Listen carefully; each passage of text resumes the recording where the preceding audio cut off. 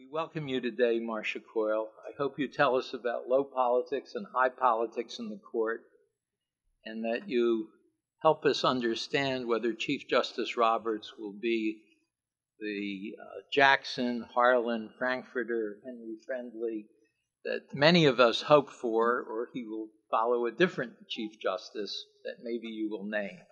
So thank you and welcome. In the uh, summer of 2010, I was covering the confirmation hearings for Elena Kagan in the Senate Judiciary Committee. And I received during those hearings two extraordinary emails.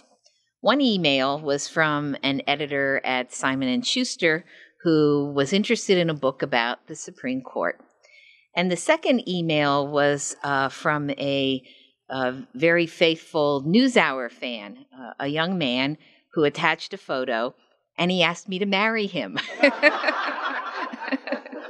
Why are you laughing? he said he had no money, but he'd be very loyal. so I immediately uh, showed that email to my husband, uh, who proposed to me some 30 years ago in a parking lot in downtown Baltimore. Alas, there was no future in the marriage proposal, but the book proposal was intriguing, and I did follow up with the editor at Simon and Schuster. Uh, I was a little, you know, a little cautious about writing about the court at that point. It was 2010, and the Roberts Court was only five years old, and I worried a little bit. You know, maybe it was too soon to be writing about the court. And yet, the editor and uh, the publisher of Simon and Schuster, after we sat down and talked a bit, we we all came to the agreement that now, you know, this is a good time to begin looking at the court. Uh, it had stepped into some very major decisions, uh, into some very major controversies, and it had by 2010 four new justices on the court. And there is this curiosity about what was going on. So I, I agreed to take on the book. Uh, I interviewed a number of justices for the book, and one of those justices, well, since the interview was off the record, uh, let's call him, uh, for those of you who are familiar with the Harry Potter books or movies, he who shall not be named. During the interview, in which we had been talking about the current court, the Roberts Court, he spontaneously said, I don't know why people call the Supreme Court after the name the Chief Justice. For example, we had the Warren Court, the Burger Court, the Rehnquist Court, and now we have the Rehnquist, uh, the Roberts Court. And he said, why should Chief Justice Rehnquist be blamed for the decisions of that court?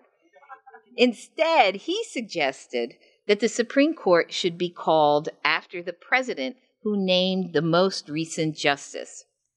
Now, that would make this Supreme Court the Obama Court.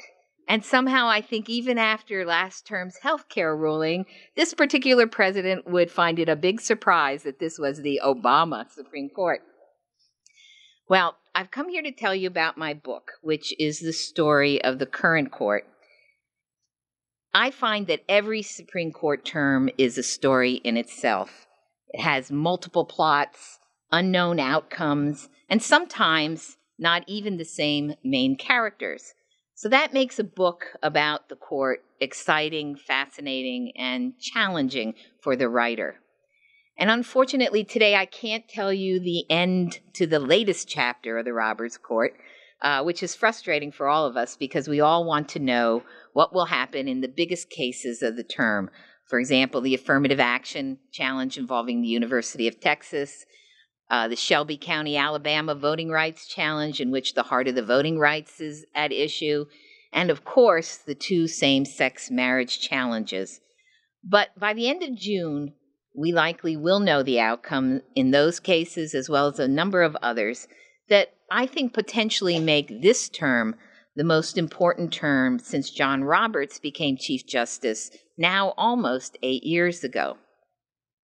But you know, it's a funny thing. I and my colleagues said exactly the same thing about last term with health care and the Arizona immigration challenge.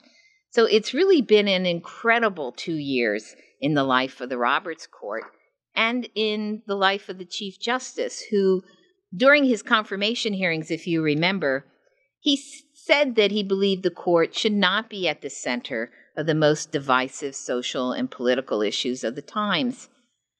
Well, there are some issues that the court can't duck, uh, such as the health care challenge. There, the new federal health care law had been struck down by a federal appellate court, and that's one of the criteria for uh, the court getting involved in a case. On others, there are at least four justices who appear to want very much to be involved on certain issues, and one of those issues, I think, is race.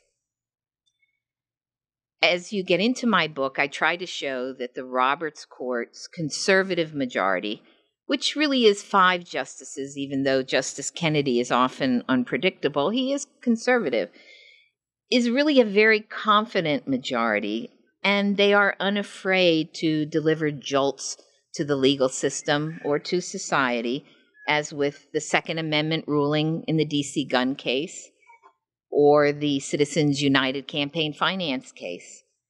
And they're also unafraid to act in some not so conservative ways, such as overruling old decisions, some very old decisions, and some not so very old decisions and then also refusing to defer to elected officials, be they local officials, state officials, or members of Congress. So when I use the phrase conservative, I'm talking more not about politics so much as restraint. Conservative courts are known to be restrained courts.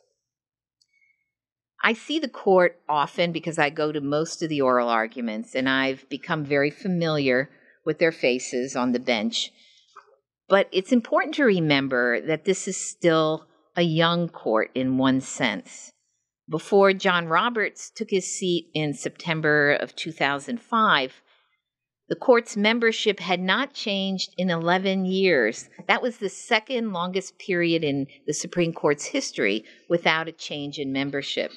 And then in just the next five years, we had three new justices join Roberts so roughly half the court turned over in those five years. So when I was writing the book, I wondered, you know, what does that mean to the justices? You know, not on a personal level as well as in terms of the work they do. One justice told me, and I quote, it's going to be different. You develop not only a relationship with the court, but individual relationships as well. I miss David Souter very, very much. Like anything else, you suddenly get a new member of the family and you try to get to know them, to establish a relationship with them, how they like to deal with the with their colleagues, be it a close personal re- relationship or to maintain a more distant one. It adds a new element. And then you do it a year again later. It reshuffles the deck. Another justice said, Old alliances people you could rely on for certain positions in prior cases aren't there anymore. And of course, a new justice may tip the balance in a certain area of the law in a different direction. And we saw that occur in the campaign finance law with the much disliked Citizens United ruling. For a little bit of history, when she sat on the court, Justice O'Connor supported limits on money in elections. Justice Alito, who succeeded her, tipped what was then a 5 4 balance that with O'Connor had been in favor of those limits to 5 4 against limits on corporate and union independent spending. And we may see the same dynamic play out again this term when the court decides the University of Texas affirmative action case. The last time the justices looked at affirmative action was in 2003 in a case involving the, I mean, affirmative action in higher education, in a case uh, in 2003 involving the University of Michigan.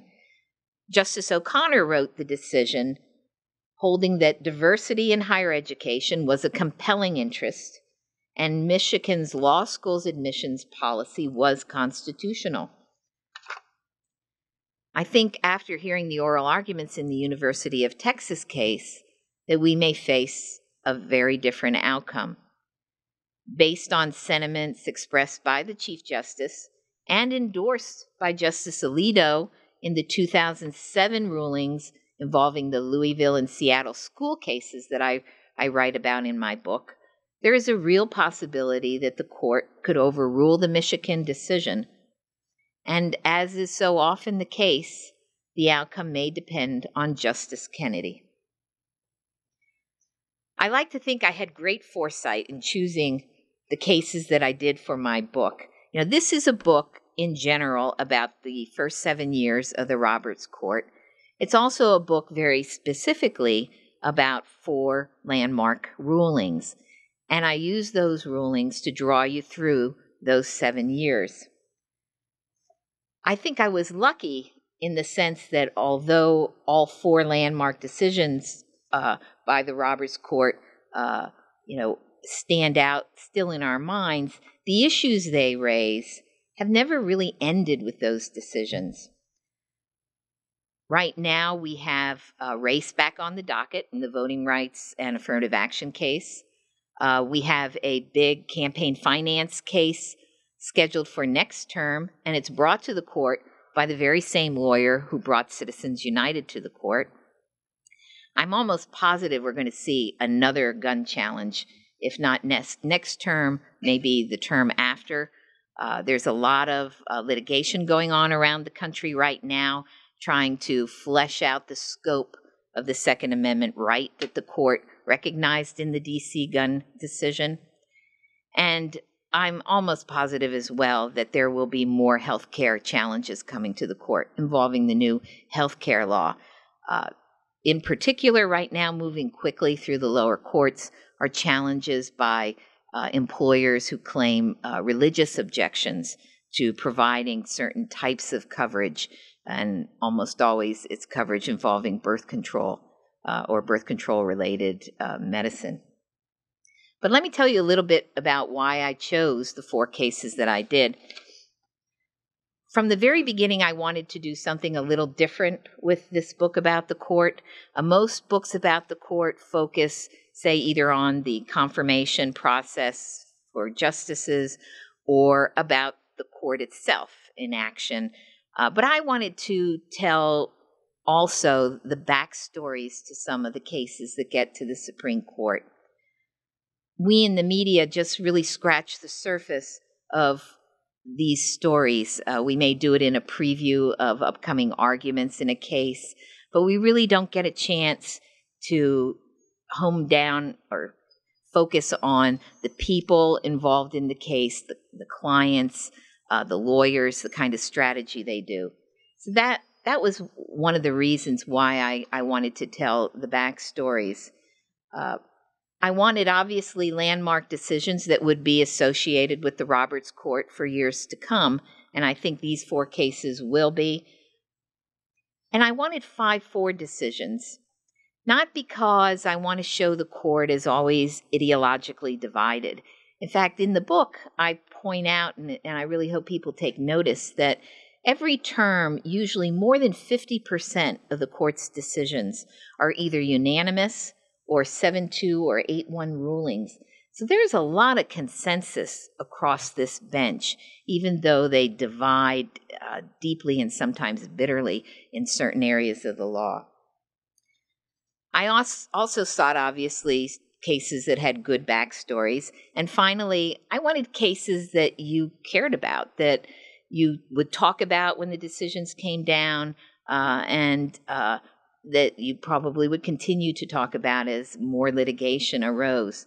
Uh, the healthcare case was added late in the book process, and I knew it was going to be added. I, uh, in fact, one of the justices uh, was asking me what my deadline on the book was, and I said, "Well, it was at the end of this summer, but then you took healthcare." And this justice looked at me and said, "Well, you knew that was going to happen." So uh, I did, but there wasn't a lot of time between the court's decision and my book's deadline to do as much with that case as I, as I had hoped to do.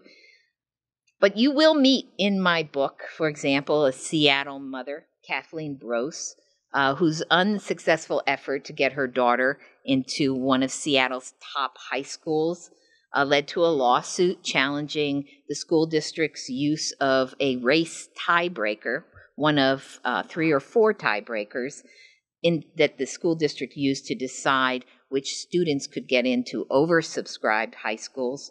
Uh, Brose describes herself as a mama bear before Sarah Palin coined the term. And you'll also get to meet David Bossie, head of the activist conservative organization Citizens United. He is a colorful political operative with a somewhat uh, checkered past. Uh, he wanted to run ads for his highly critical movie about Hillary Clinton uh, when she was a presidential candidate, but he didn't want to disclose his funding sources and he didn't want the law, the election law's limits on when he could run the ads or the movie to apply to him. And then, as you're probably familiar, there's a certain security guard named Dick Heller who carried a gun on his job uh, when he was guarding a federal office building in Washington. But because of DC's handgun ban, he couldn't have a gun at home, and he lived in a sketchy area of DC. In some of these cases, also, in fact, in most of them, you'll find very smart conservative and libertarian lawyers who carefully recruited the most sympathetic clients they could find. And they also strategically picked courthouses in which to begin their lawsuits.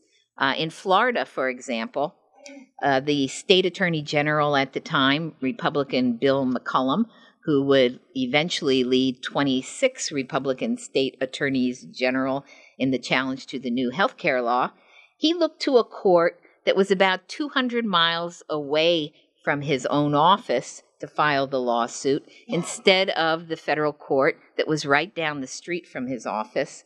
And he did it, and the lawyers who worked with him as well chose that court 200 miles away because it had all Republican appointed judges, and also because it had a very small criminal docket. And he didn't want the health care lawsuit to be slowed down as the criminal cases took priority over civil cases.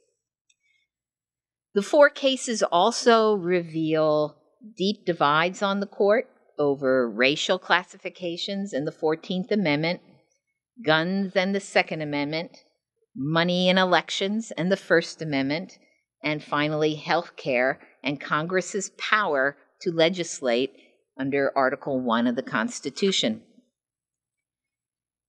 In the Seattle Louisville school race cases, four justices endorsed the notion of a colorblind constitution, but Justice Kennedy felt that a colorblind constitution was still aspirational and he would not go as far as the other four conservative justices went, although he agreed that the use of the race tiebreaker by the Seattle and Louisville school districts was unconstitutional. But that decision, and now that David points out how close we are to another Brown versus Board of Education anniversary, also revealed a really startling disagreement over the meaning of the landmark Brown versus Board of Education. And I, I really recommend that you uh, spend a little time, if you can, reading what John Roberts said was the meaning of Brown versus what Justice Stevens said in his dissenting opinion. It's hard to believe after so many years there could still be uh, any real dispute as to what happened in Brown versus Board of Education. Uh, Justice Scalia graciously let me put certain things on the record in the interview with him, and he told me that the decision in the DC gun case was the greatest vindication of originalism. That's his approach to constitutional interpretation. Although four justices agreed in the outcome of the DC gun case, there really are only two reliable originalists on the court right now Justices Scalia and Justice uh, Clarence Thomas. I was surprised to find that this major landmark case really started with two very young lawyers sharing drinks in D.C. one evening and talking about a, a decision out of a, a, case in Texas that involved the Second Amendment. One of the, I think, the first case uh, in 70 some years to find that the Second Amendment was an individual right, and saying to each other, you know, somebody should bring a Second Amendment challenge and get it to the Supreme Court. And then they looked at each other and said, hey, we're lawyers, we should do that.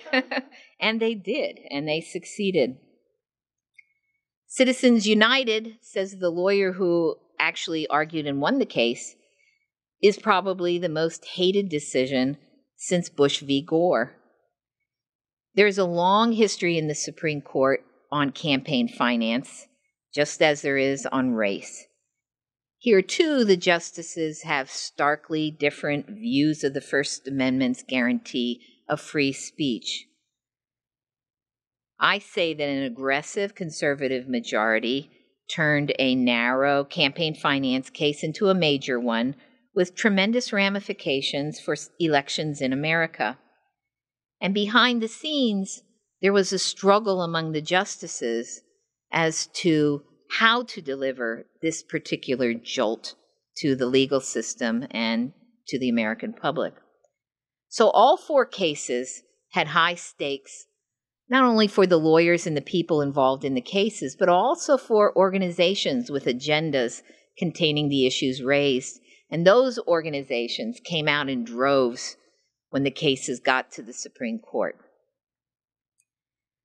I began by telling you that this term had the potential to be as important as the last term, and I'd like to spend a few minutes returning to that. I, I learned a long time ago never to predict outcomes on the basis of oral arguments, which I religiously stick to on the news hour. The only one I predict to is my husband, who has learned to promptly forget what I say, so it never comes back to haunt me. we seem right now, and I think you'd probably agree, to be living in a hyper partisan time. And I think that continues to present a difficult challenge for the Supreme Court in general and the Chief Justice in particular for the first time in decades, there is a direct correlation between the ideological breakdown of the court's membership and the political party of the appointing president. That wasn't the case when John Paul Stevens and David Souter were on the court. Uh, they were considered part of the court's liberal wing, but they were Republican appointees. But today there are five Republican appointees and four Democratic ones. And so when the court splits 5 4 ideologically, I think there is this feeling that the court is playing politics or and not applying law. Uh, about a year or so ago, Justice Ginsburg said in an interview, What I care most about, and I think most of my colleagues do too, is that we want this institution to maintain the position that it has had in this system where it is not considered a political branch of government. And that was the great risk for the court in both the healthcare and Arizona immigration cases last term. If there had been a clear ideological political divide in both decisions, it would have fed a view of the court as making political, not legal decisions. And it also would have fed the political machinery of both parties in the presidential election. I personally can't remember a time when there was such a forceful effort to get justices recused from cases as we saw with the efforts against Justices Kagan and Thomas in the healthcare cases. I also think there is a deep vein of cynicism about the court and how the justices do their jobs uh, I'm one of those very strange people who, whenever there's a story about the Supreme Court in the newspaper or online, I tend to go down to the public comments and I read, well, I read maybe at least 20 of them. And when they go on for 500, I, I can't do that. But I do like to read the public comments to see what people are saying. And I really have been struck about the cynicism and sometimes outright hostility reflected in those comments, which almost always end up referring to the decision in the campaign finance case, Citizens United. So the stakes for the court and the American people were very high last term.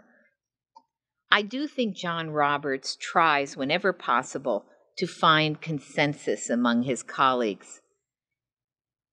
And it's just not easy. Uh, I remember uh, Chief Justice Rehnquist once uh, was sitting with some of us, and uh, the complaint came up from one reporter. You know, the justices write so many separate opinions. Can't you do anything about that? Can't you just have one one opinion for the court in a particular case? And he just sat there and he laughed. You know, it was like saying uh, it's it is like herding cats. They they all are very independent minded. Uh, and I think that some of them also have very strong views about certain areas of the law. Uh, John Roberts uh, is uh, a very confident judge, although a young justice, and he has strong uh, views in certain areas, especially race. I think that's one of them. He did not achieve consensus in the healthcare and Arizona immigration cases, but he did achieve a semblance of bipartisanship. He joined the wing of the court, the left wing of the court, in upholding the individual mandate to buy insurance and two justices on the so called left, Justices Breyer and Kagan, moved to the right in finding a problem with the Medicaid expansion in the law. And those votes succeeded in neutralizing the court as a political issue in the presidential campaign. So you come back to well, what was the court doing? Was it practicing law or was it practicing politics? And I think that's one of the most profoundly difficult questions to answer. Although I did ask it, and every justice would say they never practice politics. Uh, but why is it so hard to tell? Retired Justice Souter uh, recently gave a talk in New Hampshire at the New Hampshire Historical Society, and he, he spoke about the range of language in the Constitution some language, he said, is very specific. For example, the Constitution tells you that the president has to be 35 years old.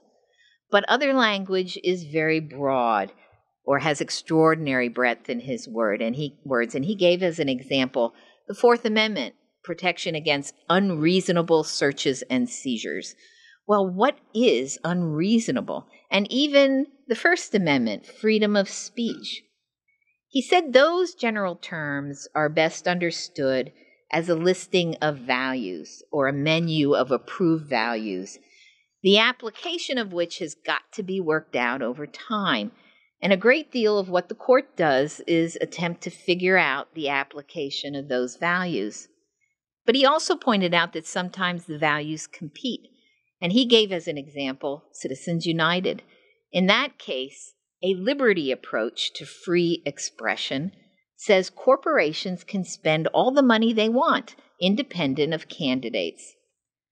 On the other hand, an equality approach would say there has to be some limits on corporate spending so corporations don't drown out other speech. But the Constitution doesn't contain a provision telling the justices how to resolve that tension.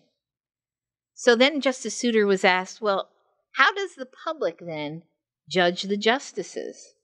And he said the public has to read the decisions.